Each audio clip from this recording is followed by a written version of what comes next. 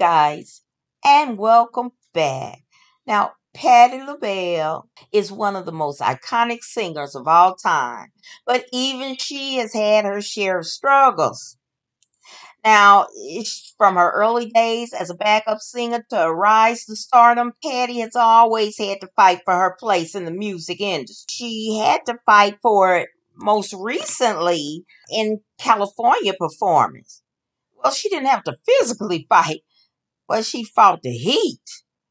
Yeah, now the good people of Sacramento, California were thrilled to see R&B legend Patti LaBelle take the center stage. Now the singing icon who turned 80 years old earlier this year was set to head the Toyota Concert Series at the 2024 California State Fair on Saturday, July 20th. Now, despite the extensive promotion and marketing efforts to draw fans to Golden One stage, no one prepared for the scorching weather to be a challenge to their special musical guests.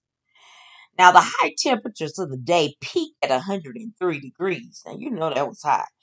And it was still 88 degrees by the time Patti got on stage. However, now during her most iconic song, she became noticeably parched. TikTok video captures the moment when Patti LaBelle, with her voice scratchy and strained, pleaded for water.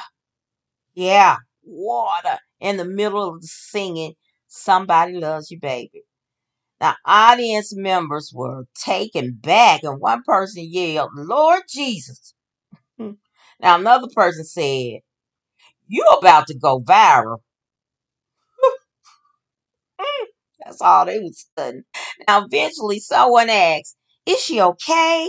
And another voice acknowledged the intense heat, saying, it's hell of a hot out here. Now, as the clip circulated on social media, it grew outrage among fans who criticized her production team for not ensuring that the Grammy winning vocalist had everything she needed, particularly water, given the extreme heat and the demanding nature of her performance. Because you know, Patti just don't sit there and just belt out a song. Patti gives it to her all. X user, which was used to be Twitter, said, Why didn't they have Patti LaBelle water? Now another said, My people are so unserious about everything. Auntie up there with the desert throat and sis talking about it's a little hot out here. yeah, they was mad. Now, for a fan highlighted the singer's health, writing, Now they know Auntie Patti is a diabetic. Having her in summer heat without proper hydration is disrespectful. Mm-hmm. Now, throughout her hour long performance, you know Patti gave it her all. Mm-mm. Now, what, what in the bear's ass did they have Patti out there in that hot heat and didn't have any water for or, or anything? Mm. You can't do you can't do the queen like oh I'm sorry Rita. Now you know Rita said she the queen. Well, Patti LaBelle has been uh, named the godmother of soul.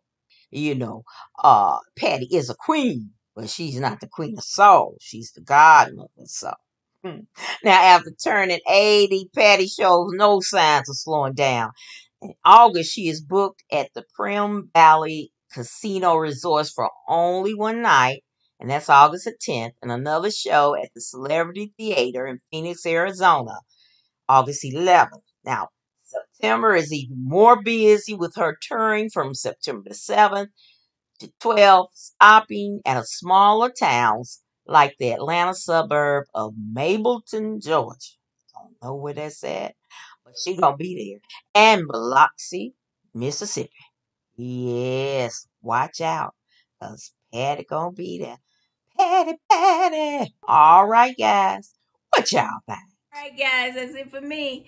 Thank you so very much for watching. And I hope you will like, share, and subscribe to my channel. And as always important, be blessed, y'all.